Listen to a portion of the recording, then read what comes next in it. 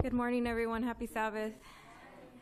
So, uh, just a little background. I uh, recently became Adventist about two and a half years ago, and um, uh, he was born out of wedlock, and um, and so we did a horrible job of raising him. We did a lot of neglecting, and but once we we came to God, God just worked miracles in him, and um, the day I got baptized, my husband got rebaptized, and we dedicated our son that same day. And my son went like this to the pastor. He wanted to say something to the congregation. And he said, The most important thing is that we must walk by, fa- uh, by faith and not by sight. And so since then, um, Mike Carter, if any of you know him, he was like, That little man's going to be a preacher. And so, so uh, Mike Carter put together a group of kids. Uh, he, uh, Tristan is the youngest, and he uh, put together a, a, prophecy series, and we're actually finishing it today at Central Valley. But um, so this sermon is the first of the series, and it has it has been a blessing. God God is really good. So here's Tristan. Welcome to our Welcome to the first sermon of Game of Thrones, Job and the Book of Revelation. Some of you may be wondering why we put Job and Revelation together. Let me ask you this. How many of you have heard of a man in the Bible named Job? Job went through some pretty rough times, didn't he? Lost his businesses, kids, and even his own health. Really tough, huh? Well, did you know that a lot of the things that we find in Revelation come directly from the book of Job?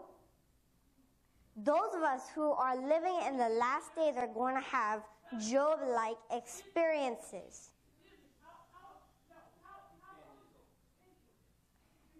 So that's what we're going to be doing in this series. But before we begin, let's have a word of prayer. Dear Heavenly Father, I ask that your Holy Spirit may speak through me and hide me behind the cross. In Jesus' name I pray. Amen. Okay, let's begin. Job chapter 1 starts off by informing us that Job was a good man who loved God and avoided evil. But it was his loyalty to God that got him in trouble. You see, according to the book of Job, a special meeting took place in heaven. The sons of God, a term that the Bible uses to describe beings from other worlds, were at this meeting in heaven. The Bible also tells us Satan was there too. Now, what was Satan doing at this council? Doesn't the Bible tell us that Satan was kicked out of heaven? Well, he was kicked out. But according to the Bible, he was allowed to attend these special meetings in heaven. For this reason, Adam, who is also referred to in the Bible as a son of God, was supposed to be present at this special council in heaven. You see, in the book of Genesis, we discover that Adam and Eve were our first parents, and that God actually made them to be the president and the CEO of planet Earth. But when Satan, in the form of a snake, tricked Adam and Eve to turn against God by eating fruit from the forbidden tree that God told them not to eat, Satan became the new ruler the new representative of planet Earth. And using this planet as a base, he sought to not only get back into heaven, but amazingly, according to the Bible, to take control of the throne in heaven. Now you might be thinking to yourself, that's really crazy. Why didn't God just kill Satan and get it over with? My friends, the reason for this is obvious. God could have snuffed out Lucifer easier than you and I can step on a cucaracha. That's cockroach in Spanish for those who speak in Spanish. But if he had done that, the unfallen universe would, would have immediately begun questioning whether Lucifer might have had a point. God didn't want that. So, in order to give Satan a fair hearing and to prevent anarchy with the other beings, God allowed Satan to challenge him.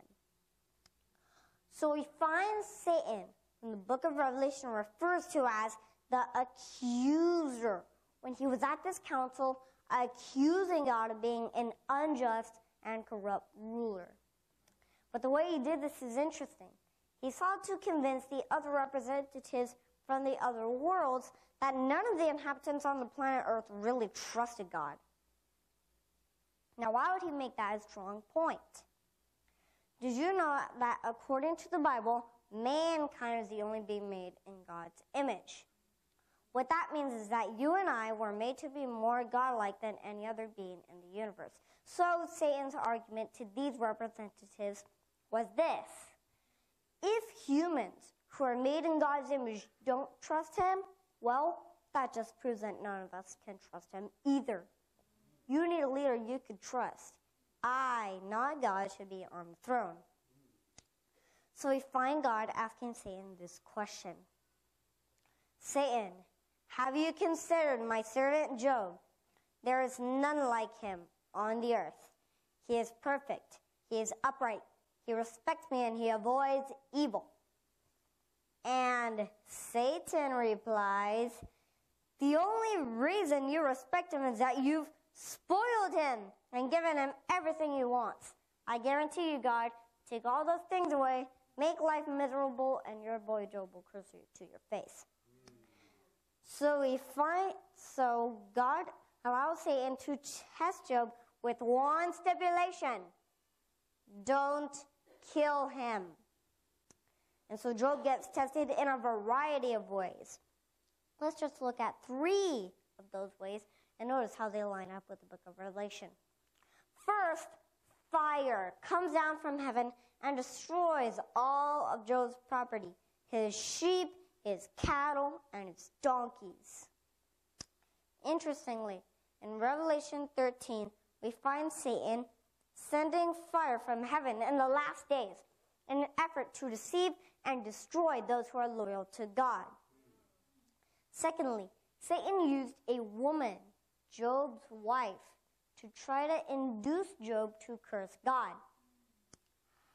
In Revelation 17, Satan also uses a woman called the harlot of Babylon, which are, we are going to find out later is a symbol of a church to try and force God's people to curse God.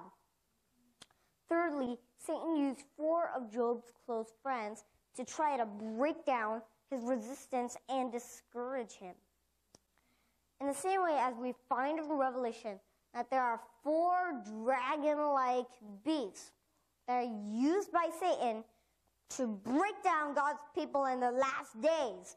These beasts, according to Revelation, all come under the title of a system that John refers to as Babylon the Great. And this is where we begin our prophetic journey today in a place called Babylon. Now, Babylon was a real city in ancient times. In fact, does anyone know what country ancient Babylon sits on today? That's correct, Iraq. Here's a map of Iraq. Do any of you recognize any of the cities on the map? Yep. Our American soldiers shed their blood to secure some of these places. In Daniel 2, we are told about a dream that Nebuchadnezzar, the king of Babylon, had one evening. The amazing thing about this dream is that it took place 500 years before Jesus was born. In this dream, Nebuchadnezzar is given the outline of world history for the next 2,500 years.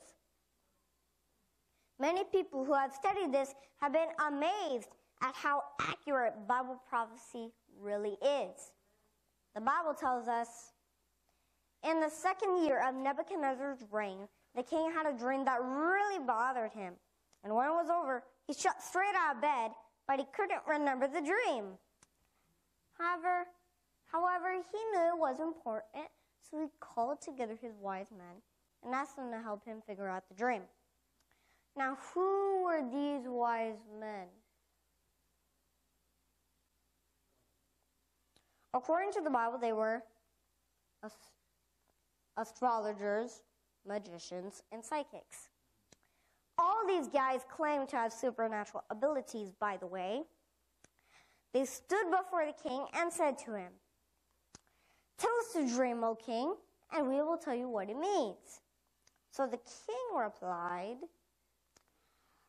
That's the problem. I know this was an important dream, but I can't remember what it was about. So you'll help me figure out what I dream and what it means. Have you ever had a dream that you couldn't remember? Well, that's why King Nebuchadnezzar was agitated. These wise men said to the king, Now, king, let's be reasonable. Nobody in the kingdom can possibly tell you what you dreamed last night. Only the gods whose dwelling is not with men can reveal to you what your dreams are. And now the wise men were in deep trouble. And you know why? How many of you remember this guy, Saddam Hussein? Did you know that Saddam Hussein, like his forefather Nebuchadnezzar, couldn't tolerate people telling him that he was being unreasonable? In fact, if you didn't tell Saddam Hussein exactly what he wanted hear, you would end up losing these. Because Adam, Saddam Hussein would give an order to have your ears chopped off. Nebuchadnezzar was paying his wise men lots of money because he claimed to be in touch with the gods. And if they claimed to have special connection with the gods, but they couldn't tell the king his dream, what did that make them? A bunch of phonies. The king was so angry, he made a decree that every wise man in Babylon shall be killed immediately. Now, Daniel, a Hebrew and a man of God, along with his three friends, were considered to be part of the king's wise men, by the way.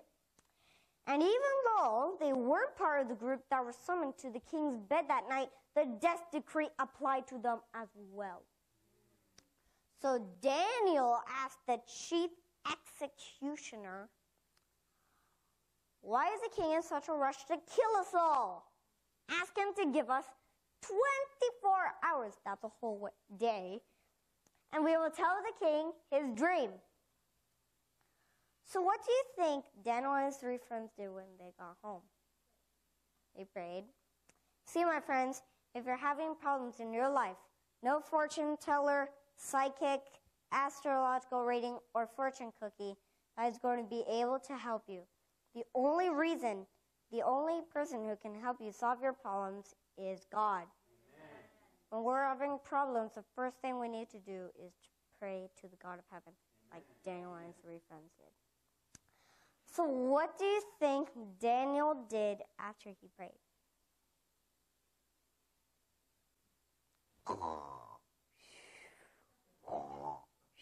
He went to sleep.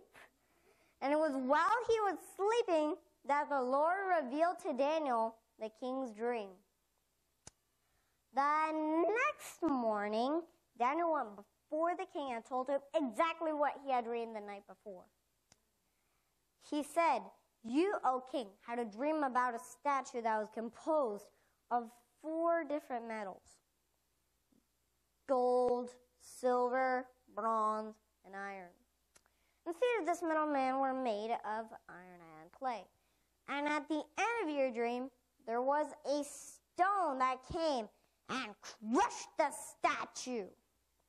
By now, the king was shocked Yes, yes, he says. That's exactly what I dreamed last night. What does it mean? Daniel continued. You are this head of gold. The golden head of the statue was the nation of Babylon. Some scholars believe that Babylon had more gold in it than does Fort Knox in Kentucky. At that point, the king got a big smile on his face. He liked the thought that his kingdom was pictured as the head of all kingdoms upon the earth. But then his smile disappeared. As Daniel informed him in verse 39, after these shall arise another kingdom. History tells that after the golden reign of Babylon, the Persians, represented by chest and arms of silver, will become the next world ruler. Interestingly, the Persians, even to this day, are known as superb silversmiths. And they conquered Babylon in the year 539 BC. Let's continue. Then, after the Persians, another third kingdom of bronze, Greece, under the direction of Alexander the Great, conquered Medo Persia in the year 331 BC. Now, notice the metal that was used to represent Greece. Just like Babylon was full of gold and Persia full of silver, all the weapons that the Greeks used in their army were made of bronze. And Daniel continues, and the fourth kingdom shall be as strong as iron. History tells that the iron monarchy of Rome conquered the Greeks in the year 4 in the year 168 BC. Once again, all of Rome's weapons were made of iron. And then Daniel said, And just as you saw the feet and toes, the Roman kingdom shall be divided. Just as the statue had ten toes, so shall there be ten dominant kingdoms that will arise to make up what will eventually become known as Western Europe. Here's a list of those tribes. The Alemanni became Germany, the Franks became France, the Anglo-Saxons became England, the Lombards became Italy, the Burgundians became Switzerland, the Visigoths became Spain, the Suevi became Portugal, the Vandals, the Ostrogoths, and the Heruli disappeared. Now, this prophecy is so accurate that for years, for years, the Bible critics claimed that the book of Daniel was a fake, that it could have been written when it was. But in 1946, somebody found these. You know what these are? That's good. That's very right. The Dead Sea Scrolls. The Dead Sea Scrolls prove at the very least that the book of Daniel, where this prophecy is listed, existed at least around the time of Christ.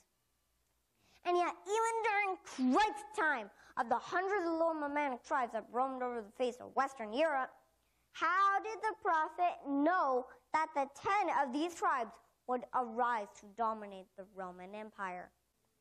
Furthermore, the prophecy said the nations represented by the ten tribes would try to stick together by intermarriage, but that the kingdom would remain divided. For hundreds of years, the European countries tried, tried to stick together by intermarriage. One king would give his son or daughter to marry the son or daughter of another king, hoping that this would make peace, but it didn't work. In fact, did you know that Queen Victoria of England was the grandmother of every single monarch in Europe? And yet, even that couldn't keep all the kings from fighting each other. Why?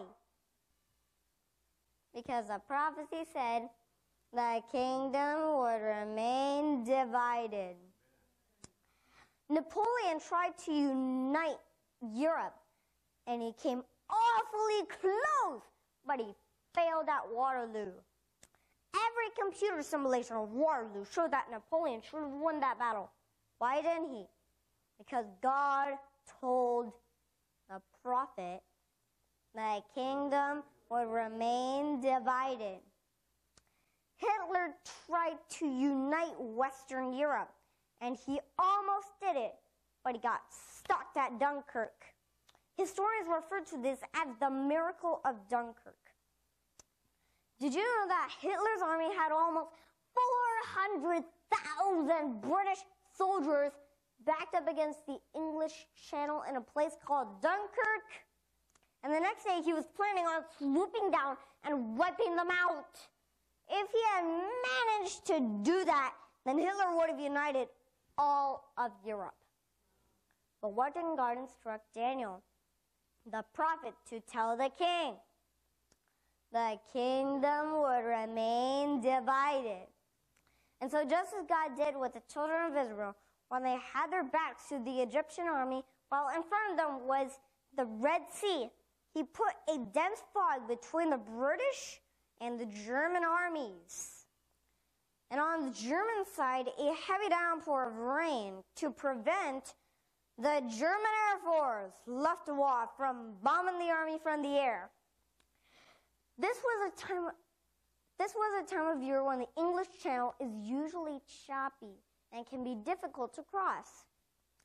But for nine days, the water was unseasonably calm, giving the British enough time to send over almost 900 vessels, little and big ships and boats, across the channel to pick those stranded soldiers.